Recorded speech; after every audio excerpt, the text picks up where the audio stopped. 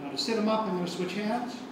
Robert Parker has been working for Correctional Service Canada for the past 14 years, after an eight-year stint with the Royal Canadian Dragoons out of CFB Petawawa.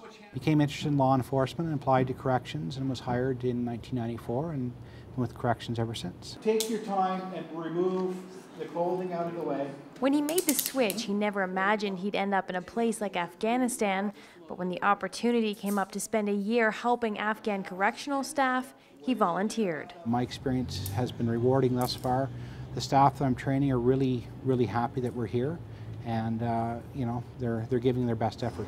You tell them don't move. Sure. Parker is a trainer mentor to the correctional officers at the Sarposa prison in Kandahar City. The prison now infamous for the dramatic prison break orchestrated by insurgents last summer.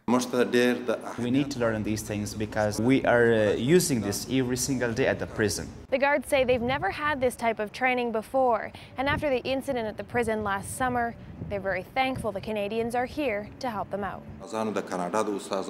They taught us uh, many things which is very useful for the prison, uh, such as outside escort, inside escort, shooting, uh, defense tactics, uh, control tactics.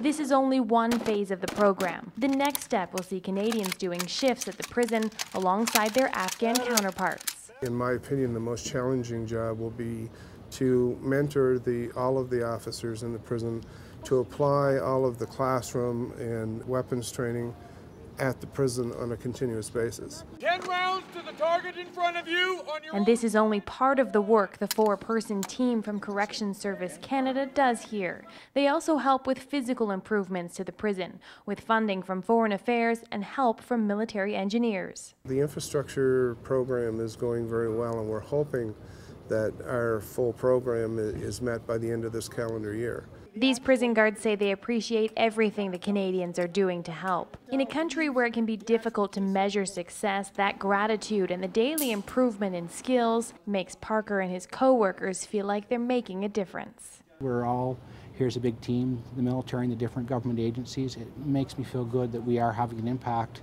on these people's lives, and that's really what it's all about.